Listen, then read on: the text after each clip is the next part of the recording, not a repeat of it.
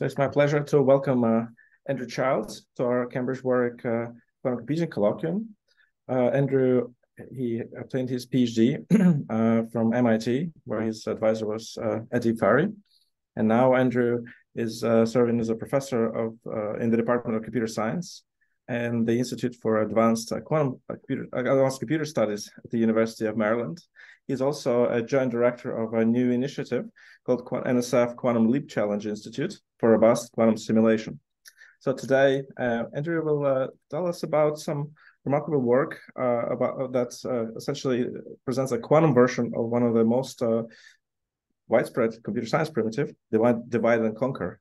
So Andrew, the floor is yours.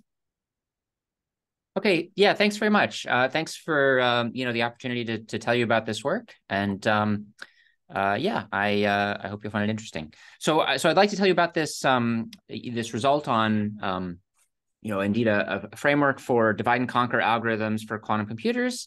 Uh, you know a sort of way to get upper bounds on quantum query complexity, following um, an idea that's very analogous to um, the kind of divide and conquer algorithms that are sort of bread and butter in introductory uh, you know uh, classical algorithms courses.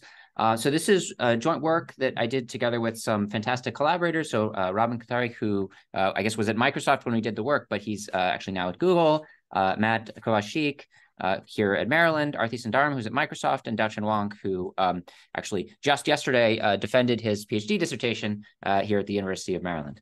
and if you're interested in learning more about this work, there's a paper that you can find in the arXiv. Um, there's a the arXiv number is here, but you can, you know, I'm sure you can search for it online.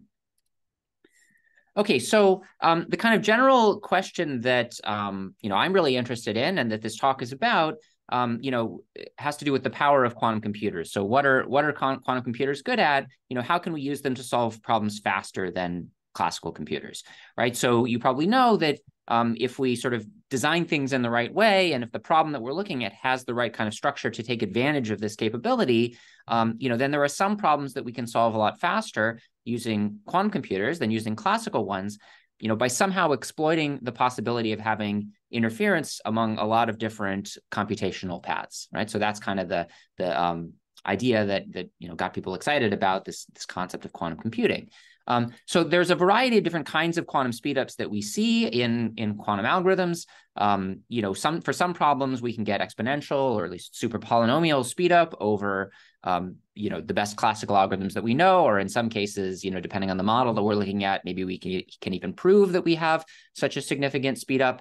And there's a you know um, I don't know if I would say long, but there's a there's a substantial list of problems that have this kind of uh, quantum speed up, or where we think there's this kind of quantum speed up, and you know hopefully this list continues to grow.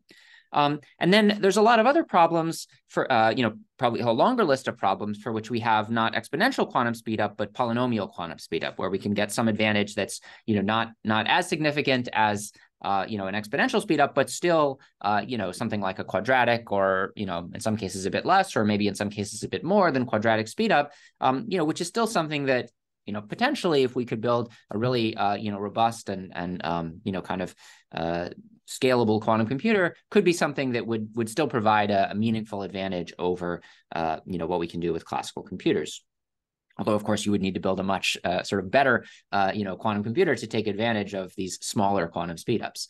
Uh, anyway the um, you know whereas probably shor's factoring algorithm is maybe the best known example of a, a problem uh, or of a quantum algorithm that provides super polynomial quantum speedup you know grover's algorithm is maybe the best example of uh, or the best known example of a, a, quantum algorithm providing polynomial quantum speedup but there's many other examples of problems you know in, in both of these two uh, kind of categories so this is the basic question that we're interested in addressing. You know, what are the problems that we can solve a lot faster using quantum computers uh, than with classical ones? Um, and you know, how can we how can we sort of um, uh, you know uh, when we when we see new problems, how can we understand whether those are problems for which we can get some quantum speed up, and if so, how much?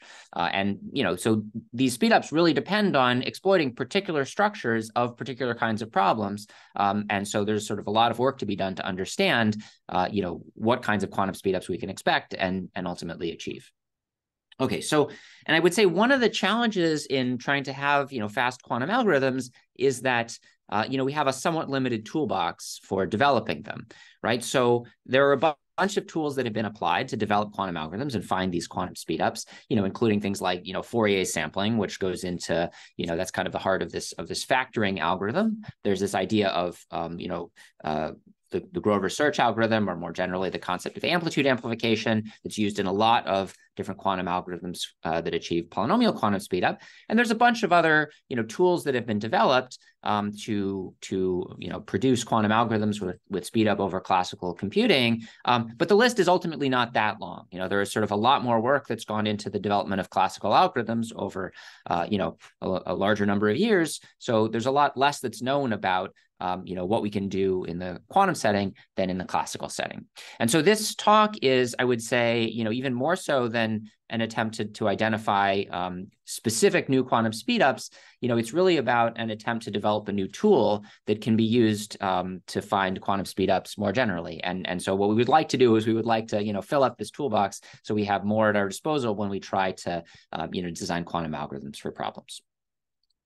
Okay, so the specific tool that we're going to develop has to do with this notion of divide and conquer. And this is, um, you know, really kind of a core idea in, in classical algorithms that, you know, um, you know, uh, comes up all over the place. Actually, this semester I'm teaching an undergraduate course on classical algorithms. Uh, I'm going to go. I'm going to go teach it. Uh, you know, this afternoon. And uh, one of the things that actually we've already talked about in the course is this notion of divide and conquer algorithms. So it's really kind of like a standard thing that's covered in, um, you know, kind of um, the basic kind of algorithm sequence that you know undergraduate students take.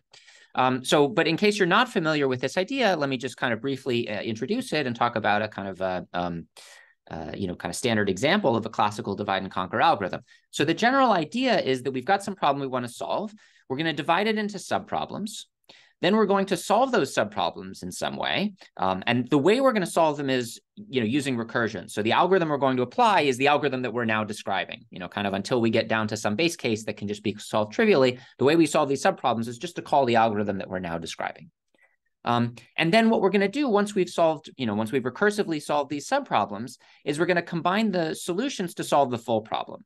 And when we do that, we might have to do some additional computation. So the answer might you know, in, in, general, won't be just you know immediately clear from the um, the work that we've done by solving the subproblems. We may have to do some additional work uh, to put those solutions together. Okay, so the, the kind of canonical example of a classical divide and uh, conquer algorithm is the merge sort algorithm that maybe you're familiar with. So let me just you know briefly remind you how this goes. So imagine that we have some list that we want to sort. Um, and so what we're going to do is first we're going to divide that list in half. So we're going to divide it into a left half and a right half. And now we're going to sort the two halves. So we're going to do that recursively. I'm not going to sort of go through all the recursion. I'm just going to imagine we sort the left half and we also sort the right half. So we do that.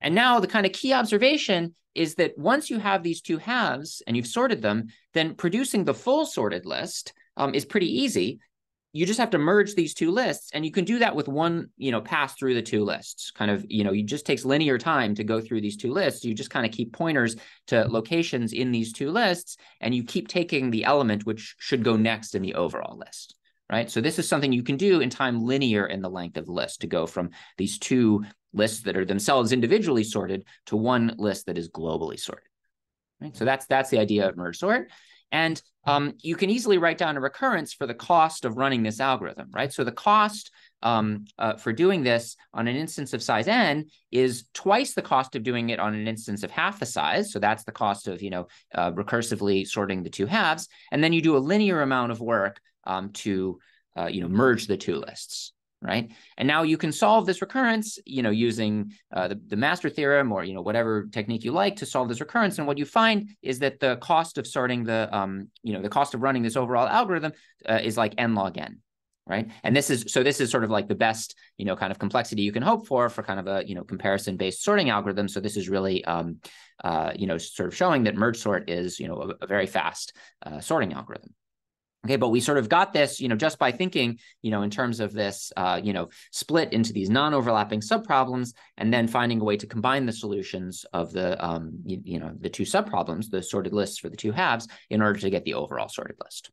Right. So this is an idea that appears, you know, in many different forms in, you know, a lot of different classical algorithms. You know, sometimes uh, things can be much more complicated than this in terms of the way you merge or, you know, various various uh, kind of features of the algorithm. But this kind of core idea is one that, you know, is quite um, quite fruitful in a classical algorithm context. So what we would like to do now is we would like to somehow come up with um, a way of designing quantum algorithms that use this idea and that um, you know, achieve quantum speedup over what we can do classically in some cases. So that's what we're going to see how to do. Okay, so um, let me describe an example that's actually maybe an even simpler example than this kind of sorting problem, um, where we can where we can sort of think about how we might divide and conquer in a um, quantum context and get some speed up, just as kind of a motivating example. Okay, so the simple example we're going to look at is actually this kind of like unstructured search problem where we know there's a quadratic quantum speedup. You know, this is the problem of computing the OR of an input string that's given to us by a black box. So we have some string x with bits x1 through xn, and our goal is to compute the logical OR of all of those bits. In other words, to figure out whether there's a one in the input string. Okay, so um, I mean, we know how to solve this quantumly, you know, and sort of classically in an optimal way, but let's try to think about how to do it in a kind of divide and conquer way.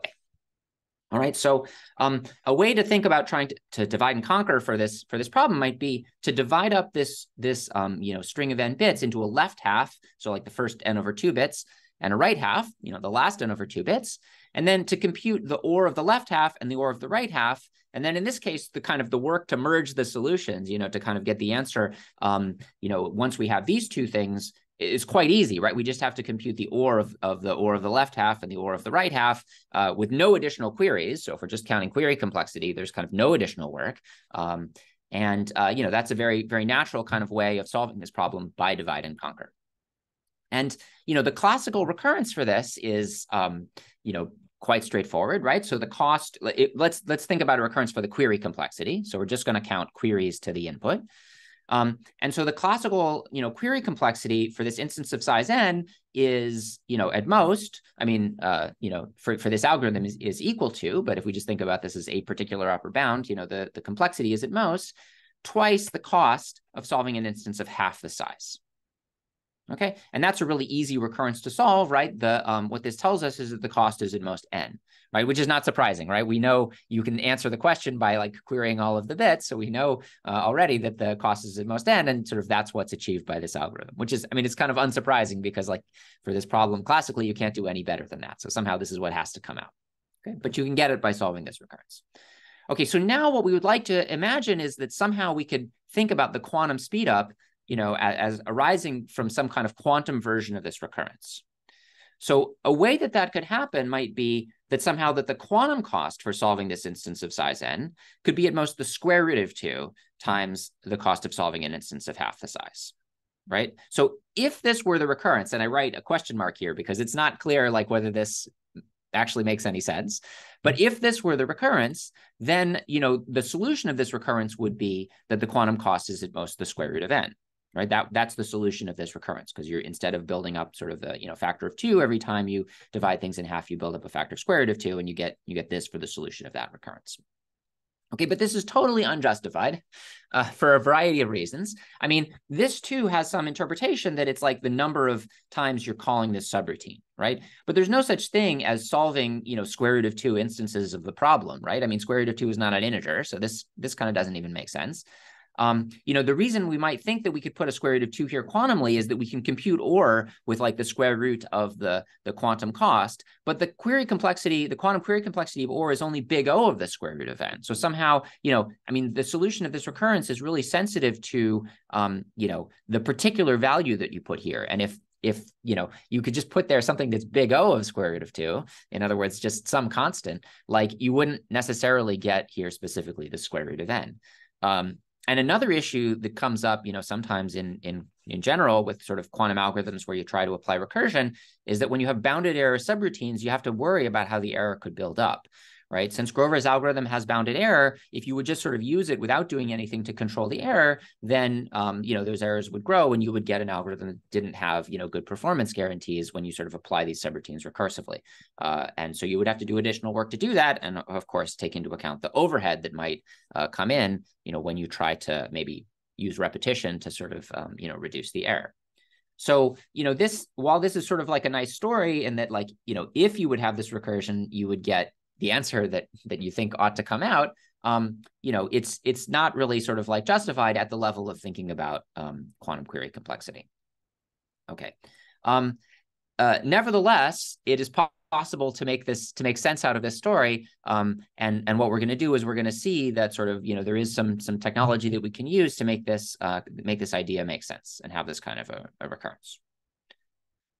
Okay, so the the sort of general you know thing that we're going to see in um, this kind of uh, you know quantum version of divide and conquer is that you know when we have some uh, classical recurrence arising from some way of trying to classically divide and conquer for the problem um, under appropriate conditions we're going to be able to get a corresponding quantum algorithm with quantum speedup and um, so th- what this is going to look like in general is the following. So, you know, a typical sort of, you know, classical divide and conquer recurrence is going to involve dividing some instance of size n into some number of instances, say a instances of size n over b. These instances could be overlapping in some way, so it doesn't have to be that a equals b. It could be, you know, that they that they're related in some more general way. Um, and then the recurrence is going to say that the cost of solving this instance of size n is going to be at most a times the cost of solving the instance of size n over b, plus some auxiliary work that you have to do to combine those solutions. And so what we're going to do, you know, under sort of appropriate conditions, which we'll we'll talk about, um, is to is to uh, you know explain that we can get a corresponding quantum divide and conquer recurrence, where basically we get to take the square root of a. Um, so if this is something like you know uh, we're we're sort of like you know taking the sort of logical or of these a instances, then in that case uh, we're going to be able to do something like getting the square root of a here. And also for the auxiliary work that we do to combine these solutions, we're going to be able to use a quantum algorithm. Um, so, so that's also a, a place where we can potentially get some speed up. And so if the cost of solving the auxiliary problem is just big O of, you know, this, this auxiliary cost, um, then we're going to be able to put this auxiliary cost here. Okay. All right. So that's, um, that's sort of like the kind of result we're going to have uh, in the framework of quantum query complexity. So all of the work that I'm going to tell you about today, we're going to focus specifically on analyzing the quantum query complexity, not the time complexity of the algorithms. I think some of the algorithms that I'm going to tell you about, you could give kind of corresponding results about the time complexity. In some cases, it's not so clear, but to, you know, to keep the picture simple, we're going to focus on um, the query complexity right? So the, the model of query complexity is going to give us a kind of a way of um, you know, a sort of a very clean way of comparing the power of classical and quantum computers, where you know the input is going to be described by a black box. So the input you can imagine is some string over some alphabet, um, and we have the ability to query the entries of that string to learn a particular character, uh, where quantum mechanically we're allowed to make queries in superposition to different characters uh, of the string, to different positions of that string. And um, the kind of question we want to answer is how many queries do we need to make to learn some given property of the input?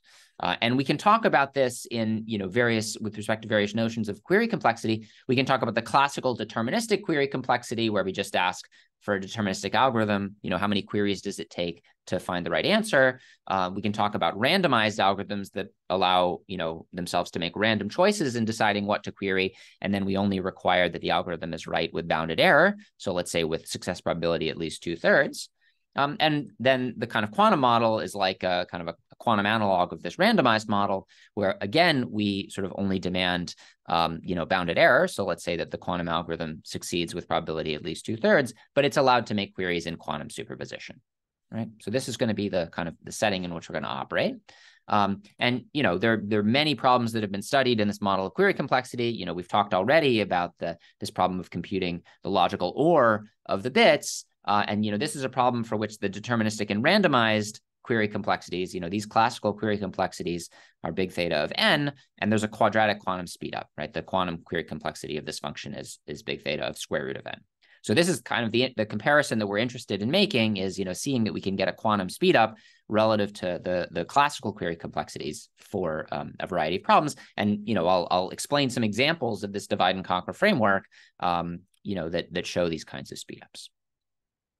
Okay, another kind of like technical idea that's going to play a role in the this quantum divide and conquer framework, and this is kind of the the key idea that's going to allow us to make sense of you know um, solving square root of two subproblems, right, which is something that you know sort of doesn't make sense uh, uh, at the level of quantum uh, quantum algorithms, but kind of does make sense at the level of a of a sort of more abstract uh, measure of of um, you know algorithmic difficulty that we're going to to consider uh, is this thing called the quantum adversary method.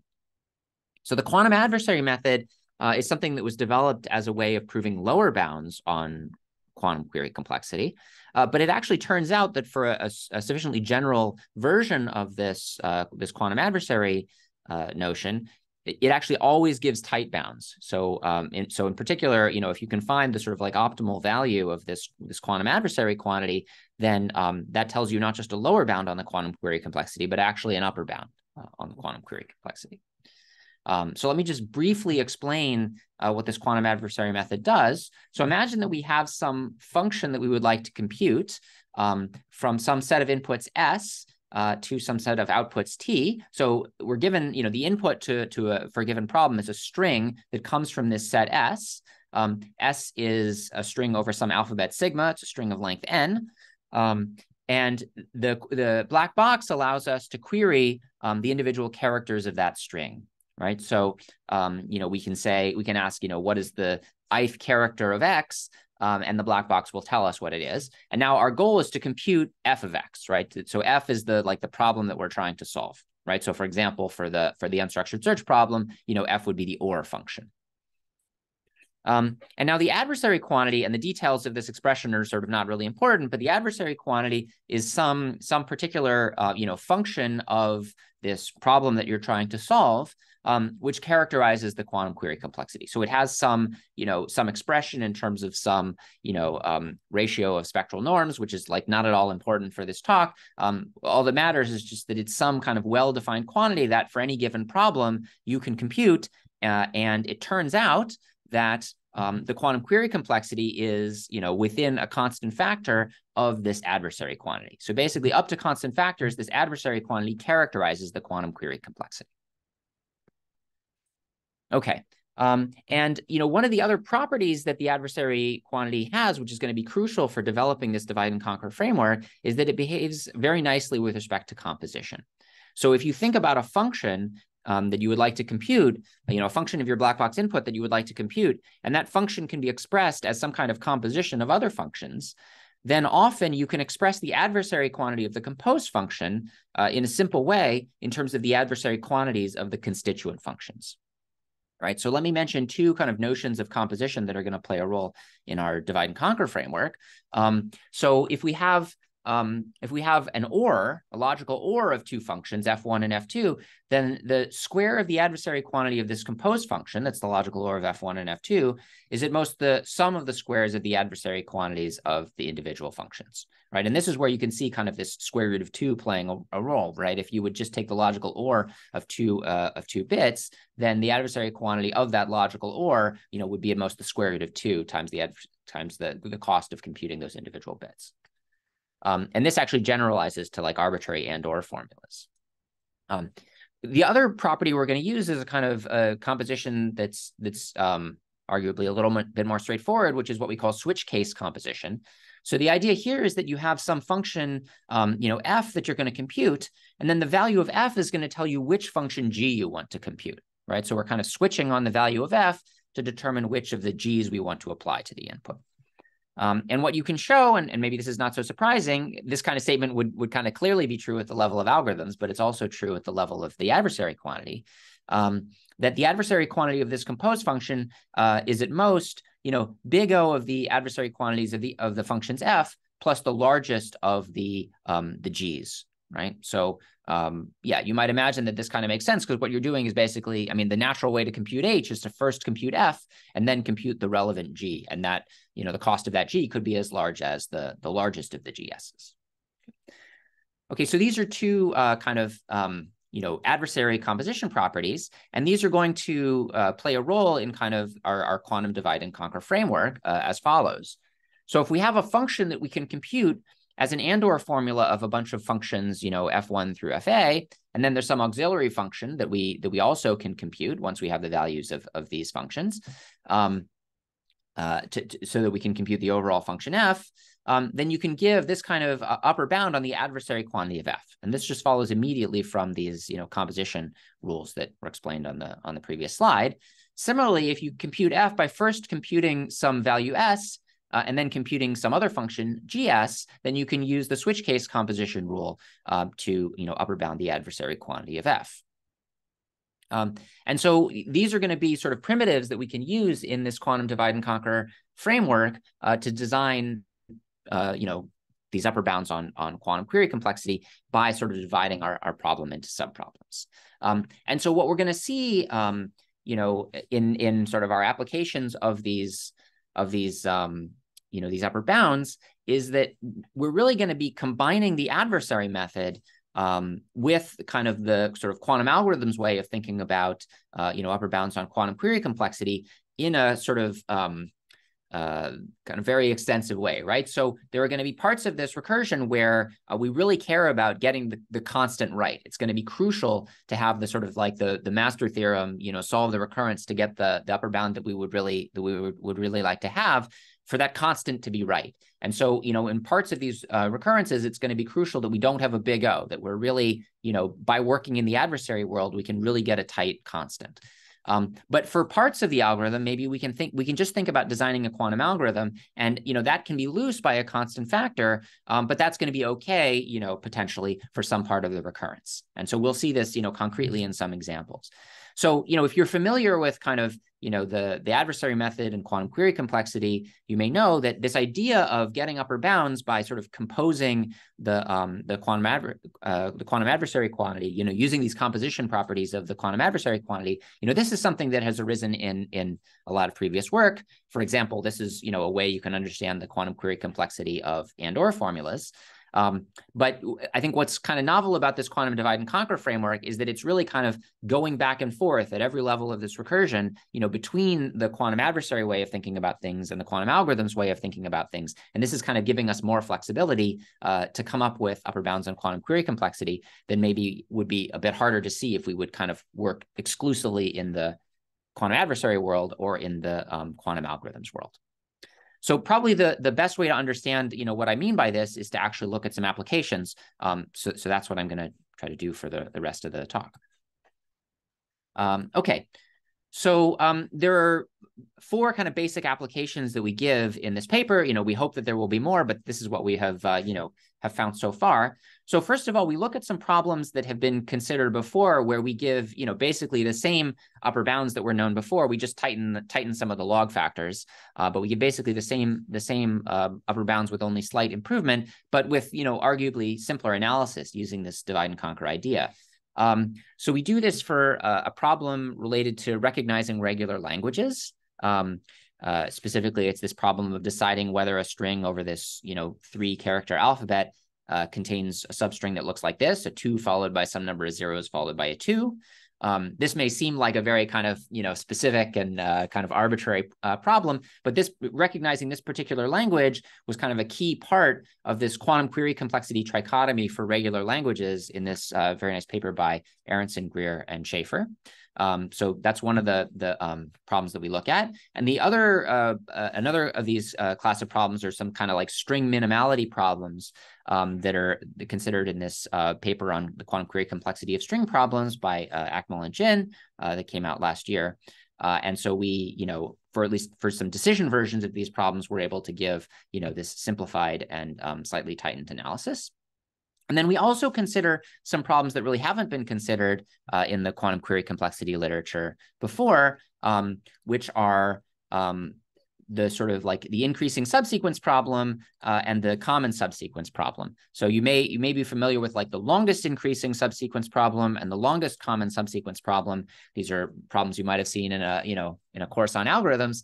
Um, and uh, so I'll explain why for for those sort of like you know problems of finding the, the longest uh, subsequences of these kind, uh, there's not a quantum speedup. But if we consider this parameterized version where we ask for a given k, you know, is there an increasing subsequence of length k, or do two strings have a common subsequence of length k? Uh, for these problems, you can get a quantum speedup. Uh, and this is something that was not not known before, and this is this is kind of like the main new application that we give for this quantum divide and conquer framework.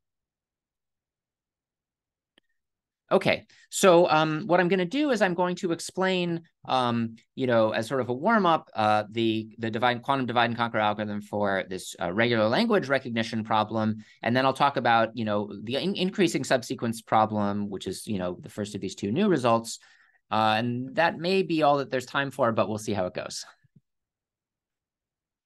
Okay, so let's start with this uh, kind of regular language uh, recognition problem. Okay, so this the setup is, as I mentioned before, we've got uh, an alphabet with uh, three symbols. So let's say zero, one, and two. And the problem is, you know, that we're given some string over this alphabet. It could be, you know, any string over this alphabet. And we want to know, you know, is it in this regular language? So, you know, as I said before, this is just asking, is there a substring that looks like a two followed by some number of zeros followed by a two?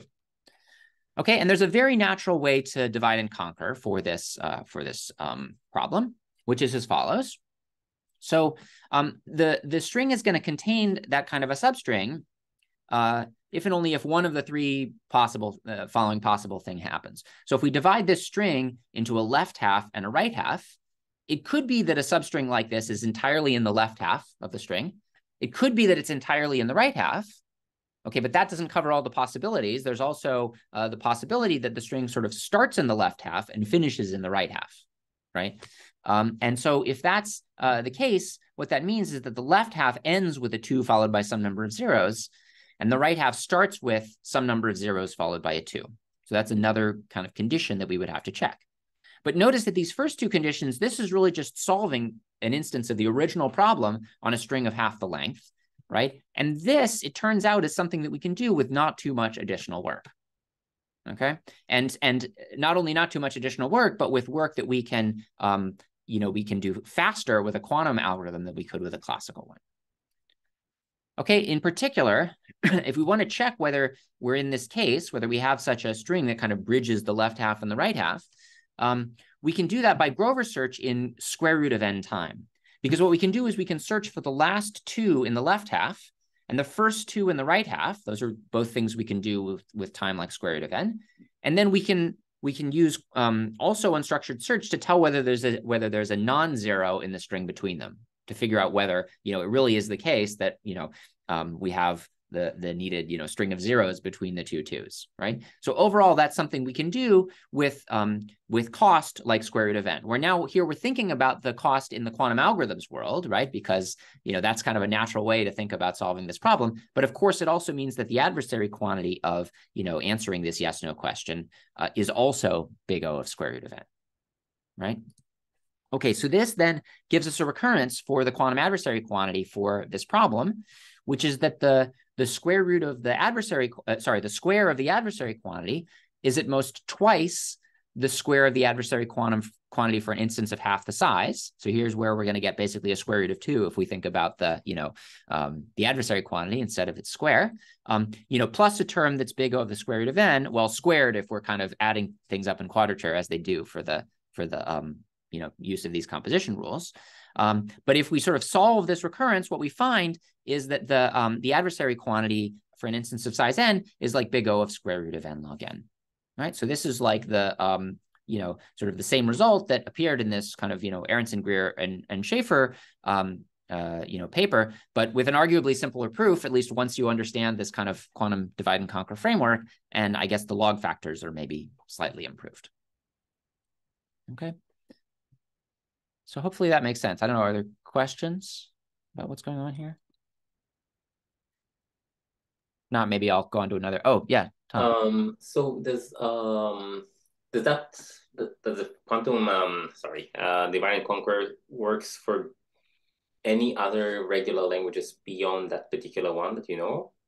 Oh, that's a good question. I mean, I think we haven't looked at that um question explicitly. So I think, you know, um, the, this kind of like trichotomy theorem, which appears in this paper, really kind of uses this this fact that you can recognize this language and basically like square root of n time kind of as a subroutine to kind of like handle the general cases. So I, I my my impression is that kind of once you have this result, uh, you can kind of use it and standard ideas to get to understand the quantum query complexity of regular languages in general. Um, but I yeah, I don't know if there's I mean maybe there are sort of natural ways of applying this idea specifically to other regular languages where something interesting would happen, but I, I haven't looked at that in detail. But what you're saying that there's potential for like a statement that for any regular language we can get an exact characterization using this method.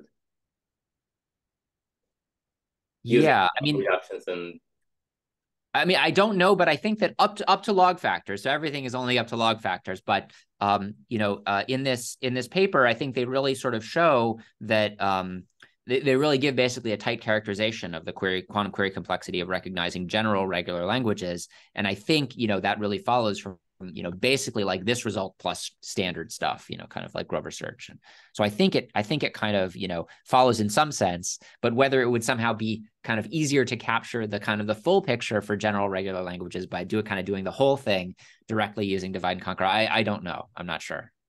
Okay thank you. Sure. Yeah thanks. Uh, maybe noah has a question? Uh, hi, hi andrew.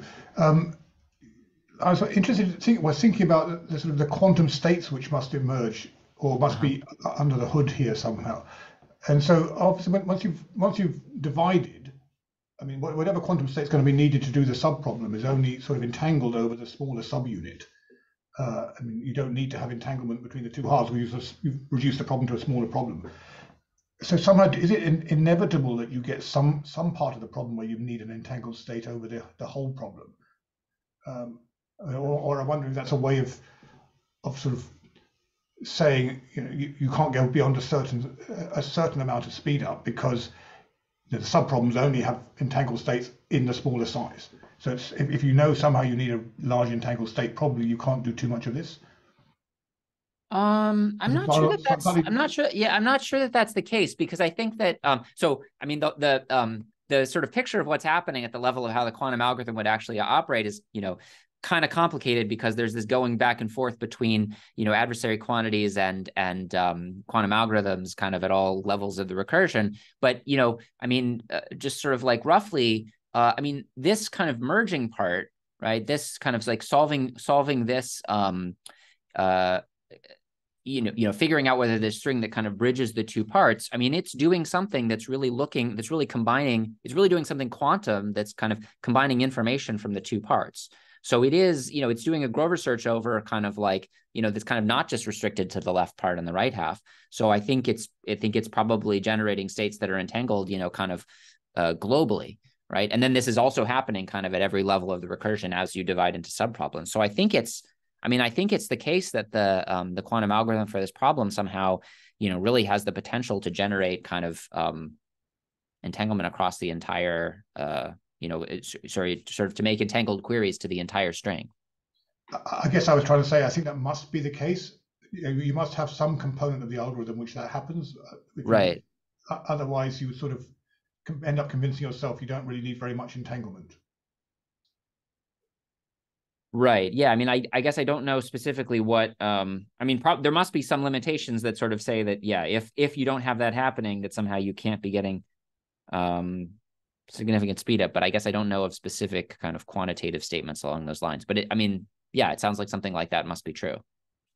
It, it might give you a sort of an insight into what what the combining thing needs to look like. Right. Because that's the place where you do really do have the whole problem sitting in front of you. Yes. Thank you. Yeah, I agree. Yeah, thanks. Okay, great. So I, I do want to do maybe at least one of the um, you know examples of kind of a new problem that we that we looked at using this uh, using this approach. So um, so let's maybe talk um, at least about this uh, increasing subsequence problem. Um, so now we're talking about, you know, whereas in the previous problem we were talking about substrings, now we're really talking about subsequences. So a subsequence of a string is something that you can obtain by taking a subset of the characters where you can't change their order, but they don't have to be consecutive. Um, and now uh, there's there's kind of a well-studied problem which is called the longest increasing subsequence problem, which asks whether, um, which asks, um, you know, if you're given a string x over some some alphabet, and that alphabet has to have, you know, the symbols of that alphabet, you know, need to have some order. So you could imagine, let's say that these are integers. Um, so you, have, you can say something about characters being bigger than other characters. Um, now the question is to find a longest increasing subsequence of um, this string x, right? So for example, if we have, you know, this uh, this string, you know, eight six seven five three zero oh nine, the longest increasing subsequence, I think in this case it's actually unique, is uh, 679, right? And um, uh, so you know you can ask in general if you want to find uh, you know the length of longest increasing sub- subsequence, or you actually want to find the longest increasing subsequence or a longest increasing subsequence. You know what is the the cost of doing that, and could we get a quantum speed up for that problem? Uh, and unfortunately, the answer is no because um, it's not hard to see that that um, quantum mechanically, you know, for this kind of general problem of of looking for the um, longest increasing subsequence, um, the cost is is linear. Like um, you you just uh, have to, in general, query, you know, um, a, a, linear number of positions to be able to to tell uh, what is, you know, even just to say uh, to find, you know, the length of the longest increasing subsequence. Um, so what we can do instead to, to get kind of to look at a version of this problem where we can actually get some interesting speed up uh, is to ask not about the longest increasing subsequence, but whether there's an increasing subsequence of length k for some k that's fixed, right? So you should imagine now that we're going to consider k being a constant, like k could be three or 10 or something like that, but it's fixed. It's not something that we're going to allow um, to kind of vary as a function of the input. Um, and so now uh, things are a little bit more interesting in the quantum context. So classically, um, you know, this problem is sort of like hard already. Um, uh, you know, if we consider consider uh, lengths of two, right? So, you know, the increasing subsequence problem of length one, this is not so interesting. Like, there's always an increasing subsequence of length one, um, but already, if we ask if there's an increasing subsequence of length two, this already takes maximal query complexity. Classically, you can probably convince yourself. It's basically unstructured search. Um, but quantum mechanically, you can solve that two increasing subsequence problem uh, in time like square root of n. That's um, you know, uh, again, basically because it's equivalent to unstructured search.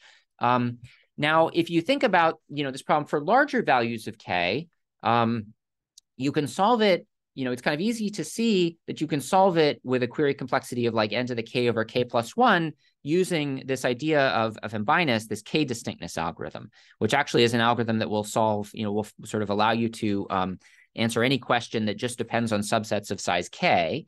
Um, so, you know, applying that algorithm sort of shows you that you can get this upper bound on the query complexity, but this is something that's going to get worse and worse as k gets bigger and bigger. So like if k is 100, you know, this is going to be like almost linear in it. Um, and so the question is, can we do better? And what we can show using this divide and conquer idea is that actually we can do much better than this. Um, actually, you know, what we what we show is that actually for any fixed k, um, there's an upper bound of basically like square root of n. Now there's some log factors that grow with k, um, but like you know, if k is fixed, then this is something that is sort of like you know negligible for large n. Okay, so let me just explain how this works using um, quantum divide and conquer. Um, so we're going to again do something a bit like what we did in the, um, you know, the uh, uh, regular language recognition problem that I mentioned before. We're going to divide into left half, uh, a left half and a right half, and we're going to, um, uh, you know, look at the possible ways that the string could contain an increasing subsequence of length k. So it could be that that subsequence is entirely contained on the left. It could be that it's entirely contained on the right.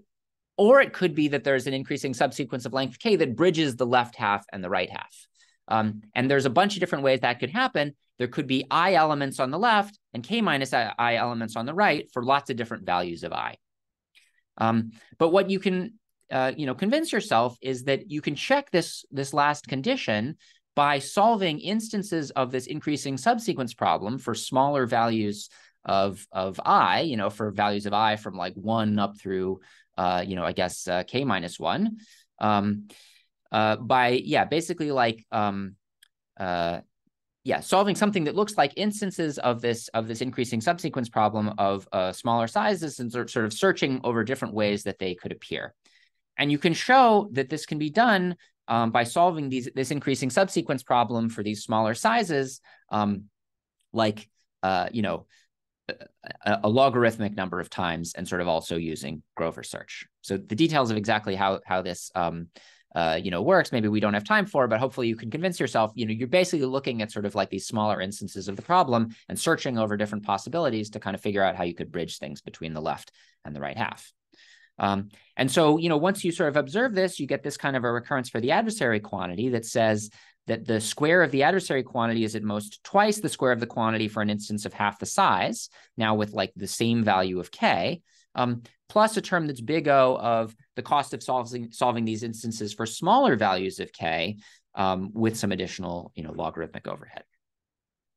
and um, if you solve this, you know, recurrence, well, basically by by induction on k, you know, you can get uh, this conclusion that the cost is only like square root of n up to these logarithmic factors. Yeah, so um, so that's uh, kind of the the first kind of like new uh, example of a quantum query complexity upper bound that we've given using this framework. There's another um, you know problem that we look at, which is the longest common subsequence problem. And uh, I think maybe in the interest of time, maybe I'm not going to sort of go through all the details, but maybe let me just sort of like tell you what the what the problem is and what is the kind of like interesting thing that happens with the the solution for it. So this longest com common subsequence problem asks uh, what is the longest longest subsequence of two input strings x and y um, that appears in both of them, and that's you know a, as long as possible. Um, uh, and so yeah, so for example, the longest common subsequence of quantum and algorithm would be would be ATM, right? So these uh, you know characters don't have to be consecutive, but they have to appear in the same order. Um, and so we again have a kind of a similar story that the the quantum query complexity of the full longest common subsequence problem is just maximal. But if we parameterize it in this way, we just ask, is there a common subsequence of length k? Then um, we can sort of like hope for a quantum speedup. Um, and you know what you can sort of show is that um, you know for for the kind of common subsequence problem of length one, this is basically like the element distinctness problem. So the cost is like n to the two thirds. Um, but sort of like the the kind of well-known kind of quantum algorithmic ideas give us an algorithm that would have worse and worse query complexity as k grows. Uh, and so you can ask if you can do better than this. And so what we what we show for this problem is that um, you know you can solve it in um, cost that scales like n to the two thirds um, actually for any fixed value of k, just with some additional you know log factors where the number of log factors just grows with k right? So this is as compared with a with a classical query complexity of like n for any of these values of k. And uh, yeah, I think we don't have time to kind of uh, talk about the details of this algorithm, but I just want to highlight one kind of feature of the of the analysis, which is a little bit uh, surprising and, and maybe kind of interesting, which is that um, you know in the divide and conquer examples that we've seen so far, and in like you know almost all of the examples of divide, and conquer that I know about, the right thing to do is to divide the problem into two parts. You know, you could come up with a sort of a more sophisticated, you know, version of dividing things up where you divide it up into three parts or four parts or something like that. But like typically it wouldn't give you any performance advantage. But somehow for this problem, at least, um, you know, with the way of dividing things up that we, um, you know, know of, um, we get this this um, quantum speedup, this kind of you know nearly optimal quantum speedup, um, but by dividing into seven parts, and we would not get it if we would divide it into only six parts or a smaller number of parts.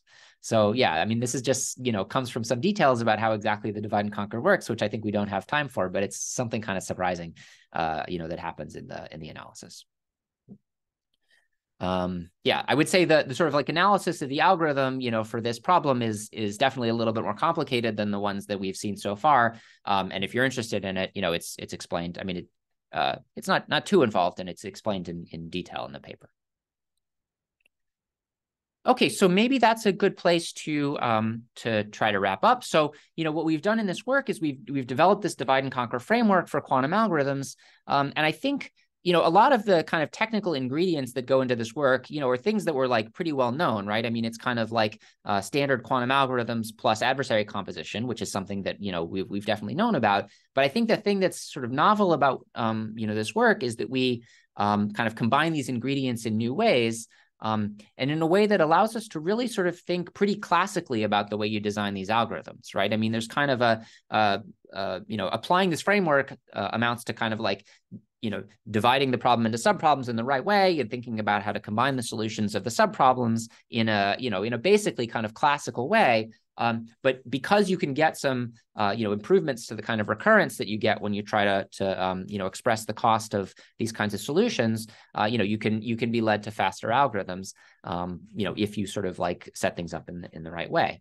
Um, so, um, you know, we've we've shown how to apply this to, you know, some problems that had been studied before, and we give these new quantum upper bounds for the query complexity of the these parameterized increasing subsequence and common subsequence problems. Um, you know, I guess we hope that there will be will be more applications of this framework. Um, so um, you know, I think in general, like trying to apply this framework to other problems could be an interesting thing to do. Um, I guess some kind of specific things that that we thought maybe would be interesting to investigate um, include the following. So um, one of the kind of limitations of this framework, as I've described it, is that it's really kind of limited to decision problems. And this kind of comes from, you know, kind of limitations of the um, the way that that adversary um, composition, uh, you know, can be applied. Um, and, and so we don't really know how to do this kind of divide and conquer um, kind of algorithm design directly at the level of search problems, you know, kind of non non-decision problems. Um, so, you know, sometimes we could solve kind of search versions of problems if there's some, know, search to decision reduction, but it's a kind of like important for our applications of this framework that we work at the level of, of decision problems. Um, so for example, I think a nice uh, example of this is like the minimum finding problem, right? If you've, if you've got, um, you know, a string and you want to find the kind of smallest element in it, we know that that's something you can do um, with quantum query complexity square root of n, um, but we don't know how to do that in a kind of divide and conquer way. Um, and so that's something that we sort of like tried to do and didn't succeed in doing. And I think if we if we had a way of doing that, it would maybe um, be useful for sort of unlocking um, ways of dividing and conquering for uh, search problems more generally. Um, another sort of possibility is to try to um, use kind of more general composition rules, right? So that we talked about this and or and switch case composition, but there's a lot of other adversary composition, uh, you know, principles that are known, and it's possible that those could lead to other quantum algorithms. So I think that would be interesting to investigate. Um, and finally, you know, there's no reason in principle that we should be limited to only uh, quadratic speedup or you know even to only polynomial speedup. Uh, there are examples of super polynomial speedups um, that have been discovered using adversary composition. Uh, so um, it would be you know great if we could apply this kind of quantum divide and conquer idea to get new examples of super polynomial quantum speedups. Okay, so maybe that's a good place to stop, and, and I'd be happy to take uh, any more questions if there are any.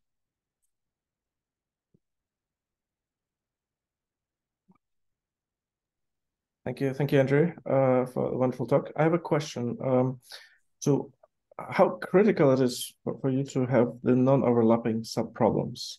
Because when I'm thinking about divide and conquer and dynamic programming, for example, you know, there's uh, there's perhaps th th this is quite different techniques, although they're not uncommon, not unrelated, perhaps. Right. Yeah. So um uh so I think in this, you know, common subsequence problem, like we didn't we didn't really um oh shoot. Um Sorry, I think I lost the screen share. In this common subsequence problem, you know, we didn't um, we didn't sort of like you know get into it, but the subproblems are somehow overlapping. Uh, you know, in in sort of our application of of this idea, and um, uh, yeah, I mean, I think that's that's critical for you know getting the upper bounds that we that we get, and so that's definitely something that you know our framework will allow, and um, and yeah, so I mean, we have that flexibility.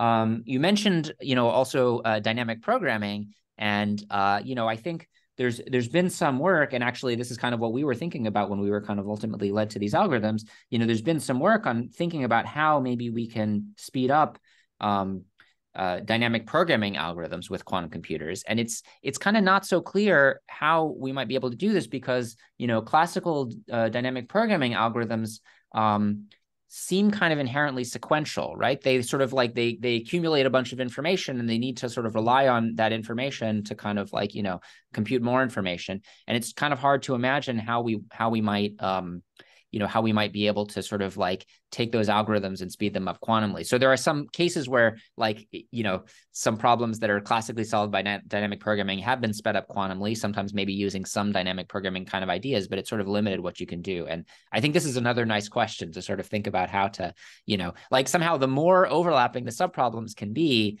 you know the sort of the harder it is to to actually get some quantum speed up. And i guess what this this kind of thing shows is that we really somehow can get you know, to some extent take advantage of overlapping subproblems. But um, how far you can push that, I mean, I think it's a nice question. Thanks. Uh, someone else, someone else has a question. Uh, Shashwat Shukla, uh, what was that?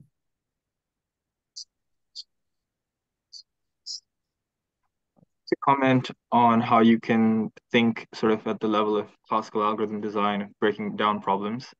Uh, though I want to ask you how um, the algorithm is constructed when we sort of go down all the way to the the details of it. I understand that you have this adversary uh, quantity composition going on. Does that mean that you're prescribing that you then build like the span program and apply like span program algorithm techniques?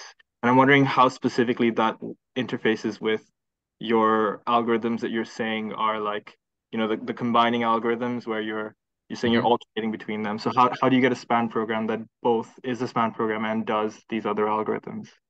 Right. So I mean, I guess, you know, what we do in the paper is just it just, you know, gives some kind of existence result, you know, kind of we we sort of show that there's an upper bound on the quantum query complexity. But I mean, I guess that this does, you know, kind of implicitly mean that there is a quantum algorithm that has the query complexity that we that we state. And like the way you would get that would be indeed like um basically to like go back and forth between sort of the adversary quantity and the quantum query complexity world at every level of the recursion. And the way you do, you know, a way that you can do that, as you were saying, is like with span programs, right? So, you know, or with kind of the adversary dual, which is maybe another way of, of, of thinking about it. It doesn't have to be kind of explicitly span programs, but yeah, basically like, um, you know, uh, you can sort of like, um, you know, go from this sort of adversary solution to a, a quantum algorithm by sort of like constructing the dual of this semi-definite program. And then there's an algorithm that basically does, you know, phase estimation on some quantum walk that reflects about some subspaces that are defined by these vectors that show up in the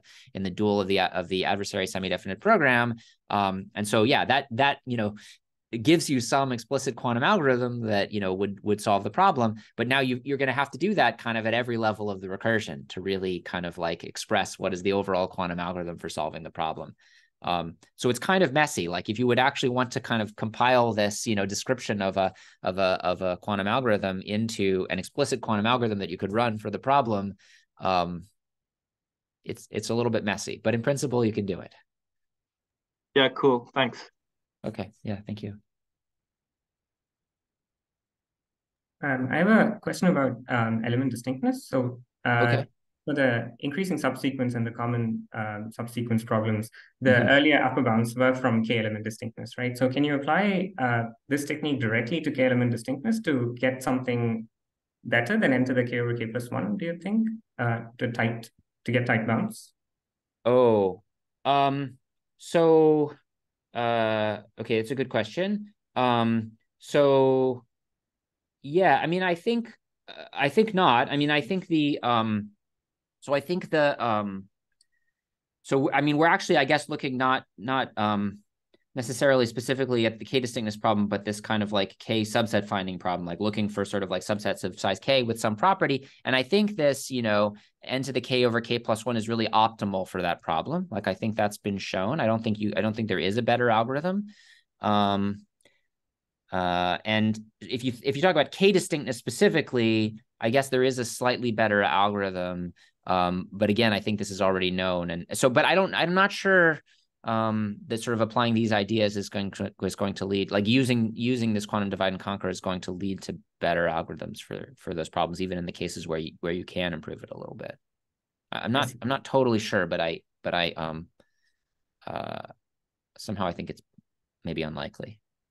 Okay okay great. Thanks. Sure.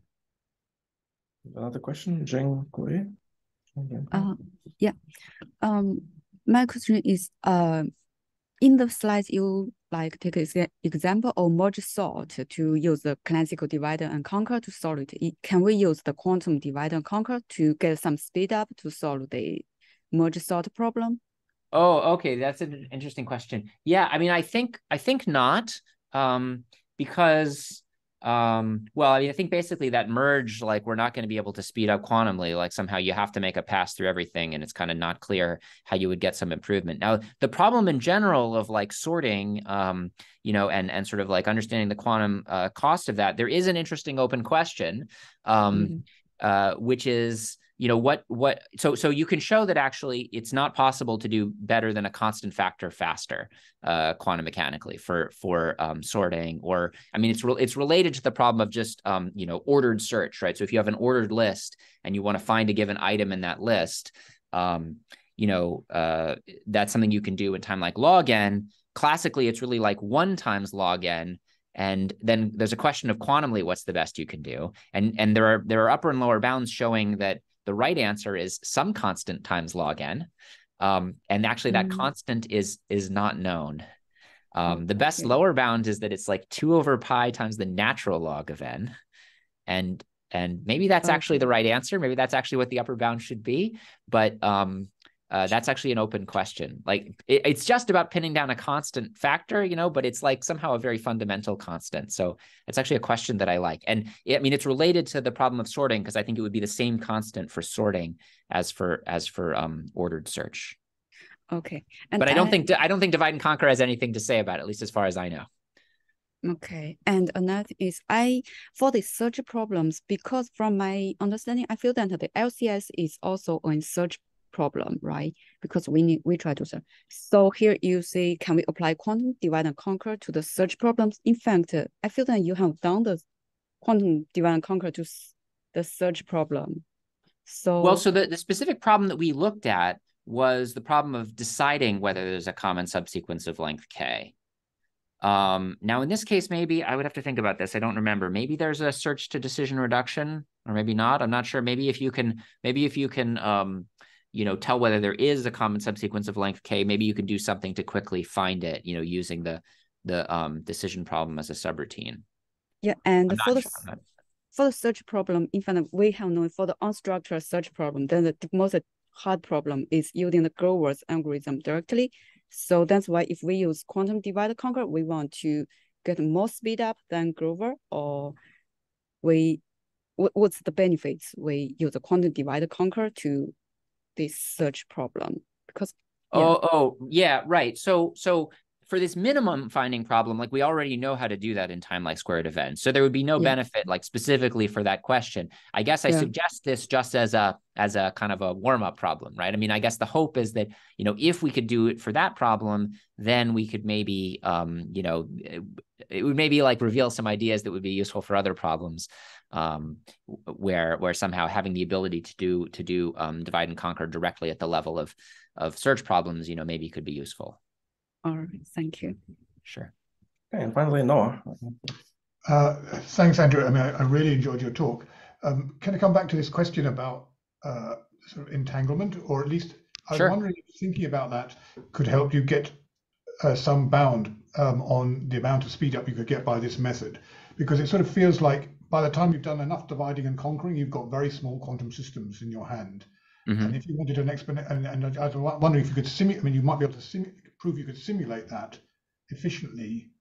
And therefore, it, I mean, but because each each subproblem is so small, mm-hmm. and that might tell you that you can't get an exponential speed up or, or something. I mean, by this method, I just wondered whether, I mean, of course, the, the, subtlety is is the is the sort of the problem. you you also have the problem of building the bits together, but I still think if you think about the simulation of some part of your algorithm, certainly by the time you've got very small subproblems, the simulation of those individual components must be easy.